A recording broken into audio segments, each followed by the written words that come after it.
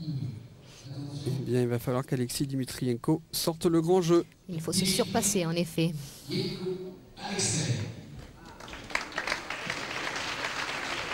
Mais j'ai beaucoup aimé son travail en demi-finale.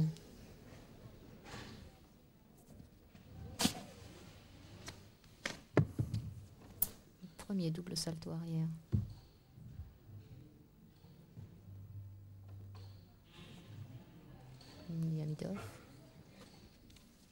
Deuxième double salto arrière. Troisième.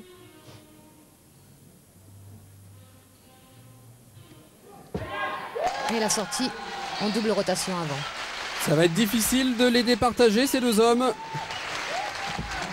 Peut-être un léger avantage pour le Chinois. Vous avez préféré le chinois, Olivier Moi, j'ai préféré Ah, celui-ci. alors écoutez, on va voir. J'ai aimé la sortie en avant parce que j'ai trouvé plus originale. On en voit très peu. C'est vrai, et il est content de lui, il a raison, car il a vraiment réalisé un très bon passage.